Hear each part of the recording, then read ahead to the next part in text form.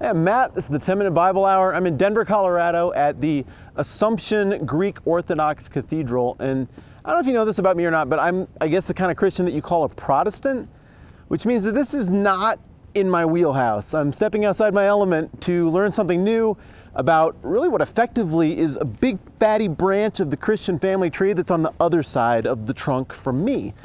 So the guy who runs this joint's been kind enough to let me run in here and meet with him. He's going to show me around and answer my questions, and hopefully I'm going to learn some stuff I didn't know before. No, maybe you will too. This place smells different than Protestantism.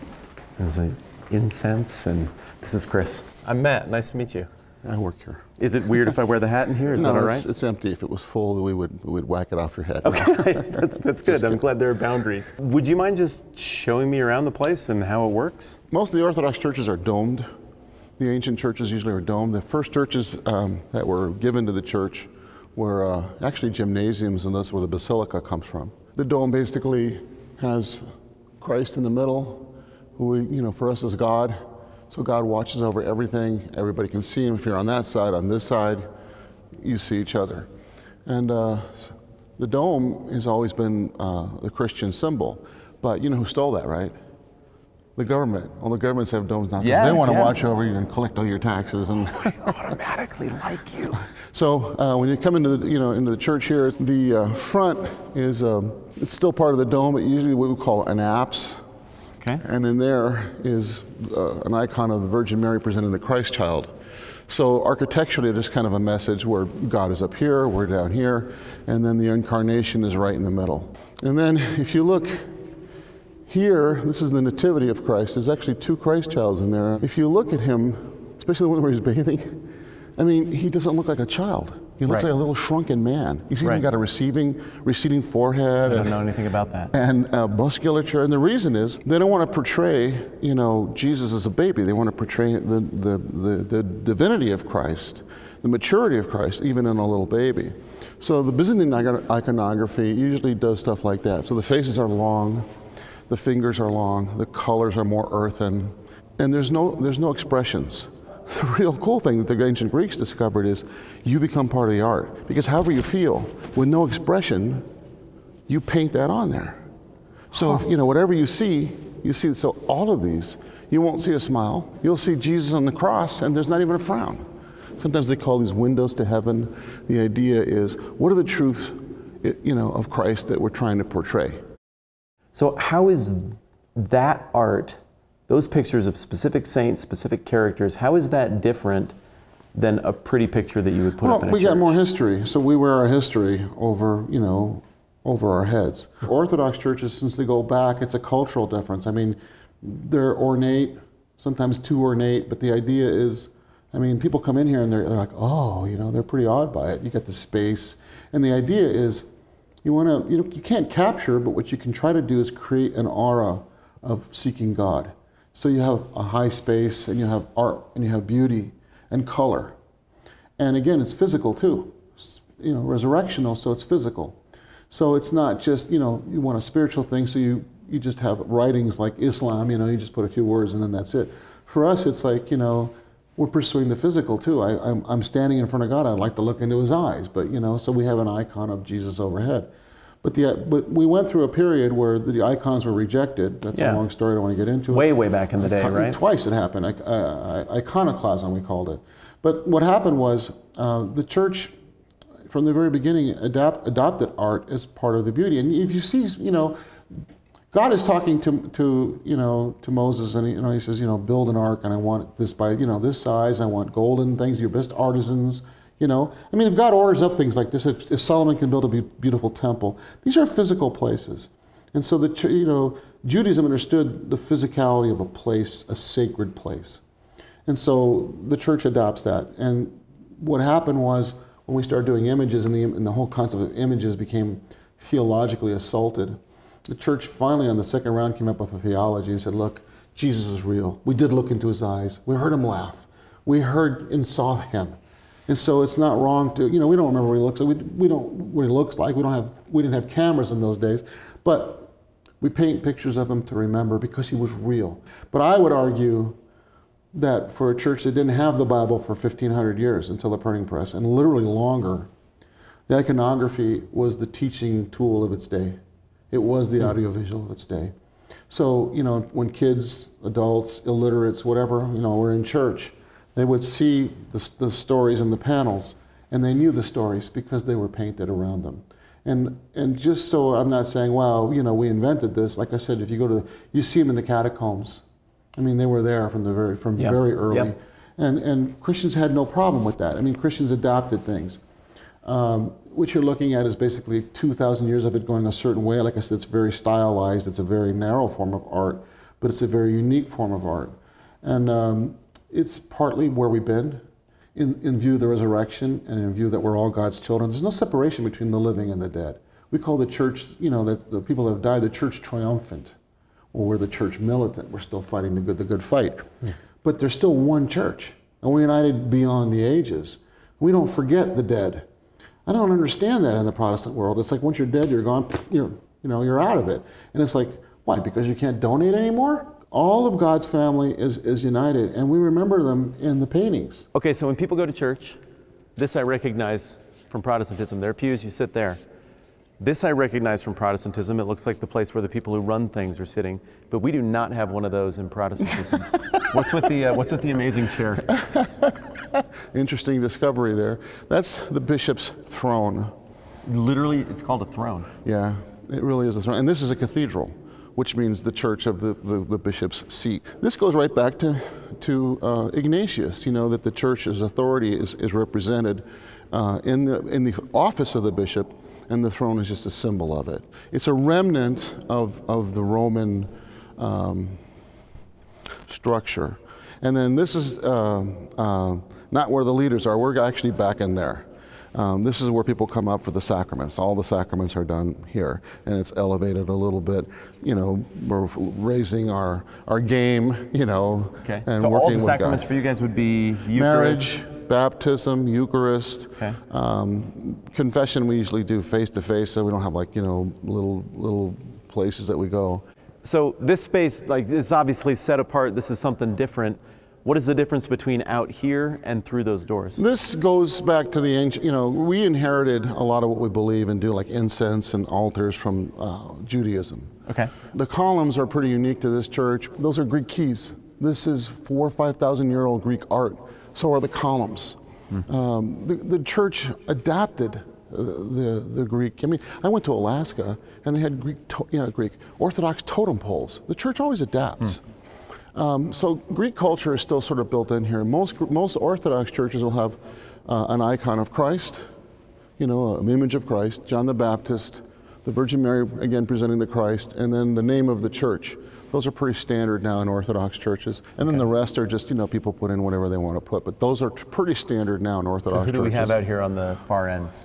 Actually, I don't remember them all. I have to get my That paper makes and me look feel them up. really good. I'm glad you don't remember. There's so many of them. You know? There are so many Actually, this is Constantine. This is, Okay. I think, um, I think it's Demetrius. It could be George. Wait, this is Constantine or this is so here? on the left is Constantine and Helen with the cross. oh, I see the cross now. Yeah, I would expect to see the, uh, like the Chi and Rho symbol or something with him. So what happens on the table in here? In the early church, the whole concept of um, uh, the pagan rituals, which where there was an altar, I mean, that was like a no-no for Christianity. But eventually, as paganism faded, the, the, the church, like everything else, assimilated and adopted that. So they sometimes they still call it the table of oblation, and the, but the sacrifice is not a bloody sacrifice, although we do the, the body and blood of Christ, so it is blood, but it's really bread and wine, and we know that. But by God, you know, it's he says, he says this is my body, and so we believe that Okay. we don't use like tr- transubstantiation or words like that. We don't try to limit it. We don't know exactly how it It's a works. mystery. But it's cool. Yeah. Okay. Our church is very focused on mystery. We, everything in here is mystical. So what we do is we, we prepare everything up there, bring it out and serve it. So there's, you know, the clergy work from here, pass through, and this would be like technically like what, what the, Jude, the Judaism would call the Holy of Holies. Okay. Um, and So, there- so they're the, there's a certain type of priest that can go in at certain times. Is so Yeah, for us, nobody, few people can go nobody walks through the doors except the priest. Uh, some people will say, well, women don't go on the altar, and that we have this thing about women. That's not true. There's no limit to it. It's just that whoever you don't go in there unless you have a reason to be in there. Okay. And only the priests have a reason to be in there. You know, something else you might notice is like you know, we have this uh, behind the altar. The altar is pretty simple, just a couple of candles. That little thing on the top is uh, we call it tabernacle. We just keep reserved sacrament in there for emergencies. This gold fella here. Yeah, and then behind it is uh, a crucifix, but you won't see stations of the cross or really gory crosses. I mean, there is a little bit of blood on there, but the whole the, the focus is not on the crucifixion, and that's what really sets us apart. Our view of salvation is different when we sit down. We'll talk about that. There's also a chair back there. I don't know if you could see it. That's called the synthronon. That's the actual bishop's chair. That's where the bishop actually sits. The one in the front was uh, where the emperor used to sit. And the emperor, being coronated, he didn't get communion from the bishop. He'd go up and take communion himself because he, you know, was appointed by God to run the kingdom, which was considered Christian. But, you know, all that's gone. Boy, that's tricky. Oh, yeah. What are we looking at here? Uh, This is a baptismal font. How do you fit somebody in there to dunk them? This is for babies. Well, I'm a. I mean, I could fit in there. Yeah, but we have a Really? It's, you couldn't put an adult in there. So, do you actually immerse a baby in this? Yeah. Really? Yeah, we believe in full immersion, and um, um, we, we, we don't have an age of reasoning like the Roman Catholics and the, the Protestants got that from Roman Catholic. Catholicism. And so it's like, as a parent, you, you teach your kids from the very beginning. So this is not about indoctrinating our kids and saying, well, you're not old enough to make a decision. This is about from youth allowing them to participate in the sacraments. We don't deny that to children. So, so kids get to. Oh yeah. And there's no 12 year old stuff. It's just, you know, there's no age of reasoning because that limits. What if you have, you know, get hit in the head and you can't think straight? Great point. You know, Yeah. I mean, there's I've always no, wondered about It's that. about this. It's about your heart. So we, we don't have any limitations on kids. Most of our baptisms are kids, but we do get adults. And so, you know, we, you know, the church has been settled in for a couple thousand, you know, 1500 years. So mostly it's babies. So, does somebody become a part of the Greek Orthodox Church upon baptism? Yeah, and that's pretty universal in Christianity. So Born a- again and all of that. So, if a family came in and all kind of converted at once, and they have like a 10 year old, they wouldn't be able to receive the sacrament Until the they're Eucharist baptized. until they're baptized. Right. So, when you when you do communion, I'm sorry, the Eucharist. It's I- okay. you- We call it communion, yeah. You just do? Okay, yeah. all right. Um, so, like some kind of blessing or something happens up here, Bread and wine. and we bring that all leavened bread and wine. That's Leavened? Leavened. We so we actually well. use bread, We do too. and it's real wine, not grape juice. It's wine. It's enos in Greek, and you know, there's, we don't have the puritanical roots. Do you get in trouble with the government, or do they make an exception for uh, kids drinking Uh, wine? I suppose if Jesus used peyote, we'd be there too. yeah, that's true. There's an exception for that. Okay, all right. So this, so this comes out. Do people just line up down the middle, or do you distribute it out into And the every room? church is a little different. Um, this church, you know, there's this is pretty big, and so we usually have three, if not four lines. So there's usually a guy there, I'm in the middle, and another guy there, and we usually have three lines. All right. So I'm on my way upstairs here, and I feel a little less formal when I get back here to the back of the room, because this place really does make me feel something. And if you've watched any of my other stuff, you know that churches have this effect on me, even if I don't think all of the exact same stuff. because there's beauty in how artfully this communicates truth and, and spiritual truth as they understand spiritual truth. But also, this space is designed to make you feel things about God and yourself and where you fit. And one of the big differences I noticed between this and the really amazing Catholic churches I've been to is that Catholic churches are made to make you feel small, but to communicate the authority of the church. Whereas this is more like the concept of the round table. It's like it's designed to make you feel like you're a part of the church, like you're a part of this almost uh, Romans concept of a, a cloud of witnesses that you're surrounded by who are alive and with you and even participating in your faith as you participate in your moment on the stage of history. It's a subtle difference, but I think that difference is intentional, and I think it's evolved that way over the years between Catholic churches and Orthodox churches because of theology. Chris, I, what title am I supposed to use? Is it pastor or is it reverend? No, people usually say Father Chris. It's uh, St. Paul says, "I fathered you in the faith." Okay. And the Father is not a, a, a title. Jesus is called no man Father. It's a recognition of the Holy Spirit. So the rank doesn't come from anything that we do or earn. It's it's recognition of the Holy Spirit. Do you like Father or do you like Chris? Um, I don't care. Okay, I'll go with Chris for now then. Take me back to the beginning. When did when did the Eastern Orthodox Church or the Orthodox Church start? Pentecost. That's how we view it. 2. Yeah, and the thing about it is like, you know, okay, in the Catholic Church, it's like, you know, Peter was given the keys to the kingdom of heaven. But, Matthew it's the- 16. but was Peter or the apostles? You know, our viewpoint is to all the apostles. And, and what did Jesus say? The gates of hell will not prevail against the church. Well, if that's true, you can't have the church existing, apostating, and then re existing. There has to be a continuity, otherwise, J- Jesus lied. If there's a promise of continuity, then it should be there. And the, uh, history is very important to Christianity. Otherwise, you're reinventing it. Christ never wrote a single word. he trusted us to pass it on. I think the reason he never wrote anything is because he didn't trust us to keep it. you're not putting those words in my mouth. That's what we do. Uh, what he basically taught people, and then they passed it on. And so people say that, well, this is where I get in trouble a lot. People is, you know, this, the scripture is the source. No, it's not. It's the events that are the source. The people who lived it. Scripture didn't get written until, you know, after, you know, literally almost 100 years later. And we didn't have printing presses until Gutenberg, which was a contemporary of Martin Luther. So for three quarters of the church life till the 1500s, we didn't have Bibles. We didn't have Bibles. And in our church, we didn't have them until the 1800s because we were enslaved. So, um, how did the church get by without Bibles? You know, the history of it's important. That's why the, the iconography in the dome is relevant. That's the audiovisual of the ancient world. That's how they taught things. If, if there's no history and no continuity, then the Holy Spirit's got problems. And the Holy Spirit doesn't have problems. We're the ones with problems. Our interpretations are the ones with problems. And uh, argument with Protestantism is like, uh, uh, you know what I said earlier, if you got it on tape, I don't know, but you know, you got a pope and you don't like it. So your response is to make everybody a pope. Everybody believes whatever they want to believe. And that doesn't work either. If, if the Holy Spirit's speaking and saying, well, here's the truth, and tells everybody a different truth, that's not working.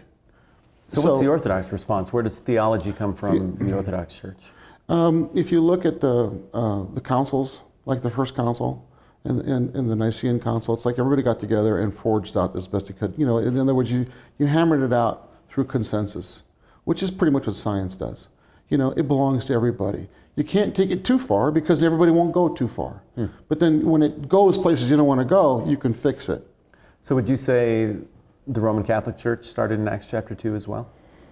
No, no, I wouldn't. So, you, so would say that the Greek, the Orthodox Look, Church the is first Catholic Church um, has gone through a lot of changes. I mean, you know, when you when, you, when a pope can speak ex cathedra, and he, he tried to force himself over the whole church, it's basically a resurgence of, of r- the Roman Empire.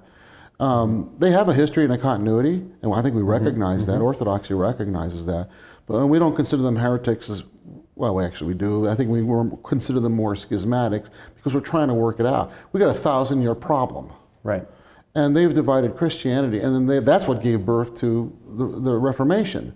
And it's like, how do you put all this back together again? So, so I feel like I'm super crystal clear on the Protestant read on Scripture in terms of how salvation happens, but I have to admit, I have no idea how you guys think of it. So, can you like explain to me, like I'm five, how does a person, how is a person a Christian in the Orthodox I Church? would say that the Protestant and the Catholic world, which you got it from them, sorry, Okay, no, no, no, it's all right.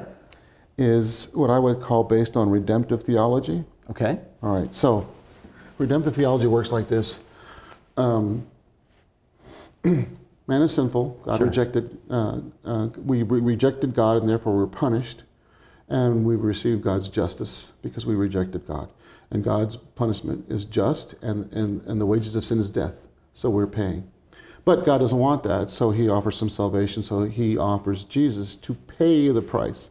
And so Jesus pays the price of blood, and then we are redeemed, therefore, redemptive theology, washed by the blood of the Lamb and set free. yes. Okay? That's salvation. But is it? That's, that's actually a formula, and that's all it is. So let me go back and explain that. So our salvation works like this we, we rejected God, and God is life. We chose death. We, by rejecting God, we rejected life. and God is not so punishing as to say, oh, I have to have a price of blood. You know, is God really that narrow? You know, He doesn't we've chosen that out of the freedom that He gave us. He gave us enough freedom to reject Him, and we did. So He basically becomes human, and, and tries to reclaim us, but not with taking our freedom away. He comes and says, This is the, the path of salvation. So first he becomes human. He incarnates, becomes human, teaches us, leads us, and then he accepts death. And it's not the death that saved us. And this whole thing about in Isaiah that uh, by his stripes are we healed. Mm-hmm. You know, does that mean that by whipping him and making him suffer that God somehow his justice was justified? Or does it mean that because he did that, we found a path? Because now I lead all men to myself. People don't pay attention to boring stories.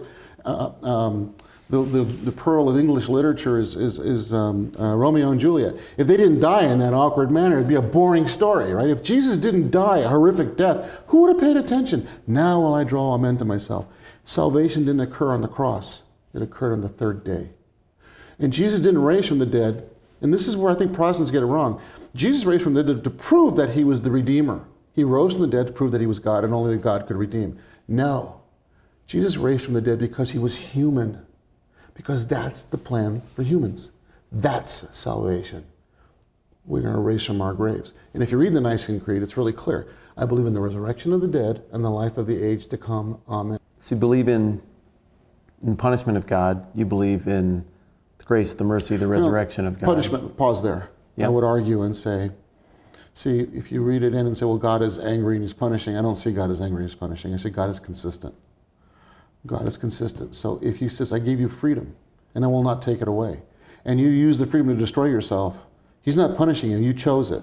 So and what happens if you choose no? We believe in hell. Look, hell is, hell is not someplace that God prepared to get you away from Him.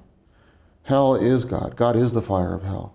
If you reject God, you're, you're facing the full force of his, of his power without Him. I don't know how that would work. I don't know what, really what hell is. Uh, all I know is um, it's probably the only thing in life I really fear. Hmm.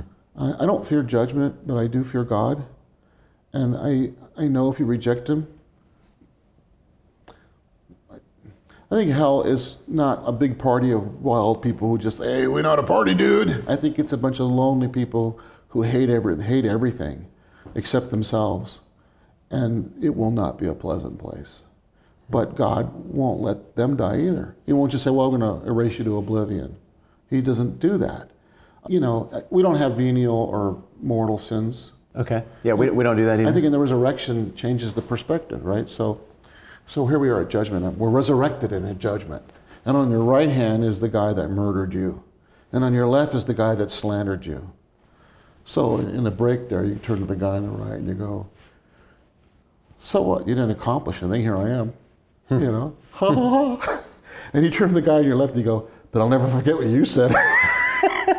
in the light of the resurrection, when all life is restored, you know, which sins are worse? hmm. I mean, think about it. There's a, there's a great equalizer to all of this stuff. And it helps, I think, forge how you're going to be as a Christian. Don't slander people, don't do bad things, certainly don't kill people.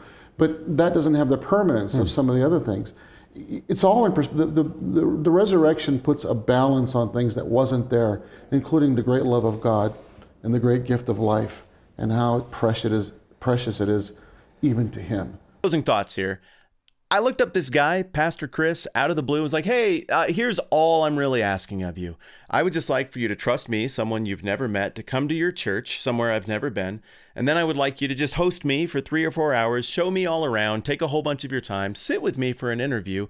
Trust that I'll represent you fairly when I edit that up and film it and send it out to the whole internet for them to see. Oh, and also I'd like you to just be ridiculously honest about everything because I genuinely want to understand a faith tradition well, your faith tradition better. And dude was like, yeah, okay, cool. When do you want to come? awesome.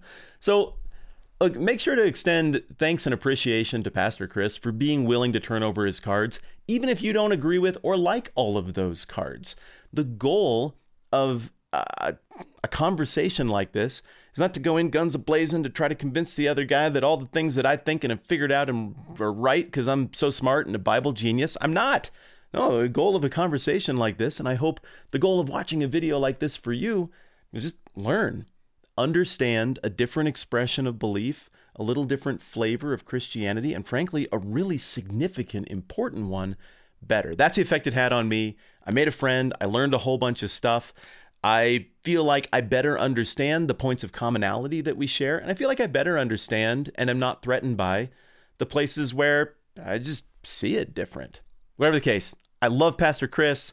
I'm so grateful for you for having an appetite for this kind of conversation. And thanks a ton for just being around this channel in general. You're awesome. I'm Matt. This is a 10 minute Bible hour. I always say this at the end. I don't know why I do that. Thanks. I'll see you soon.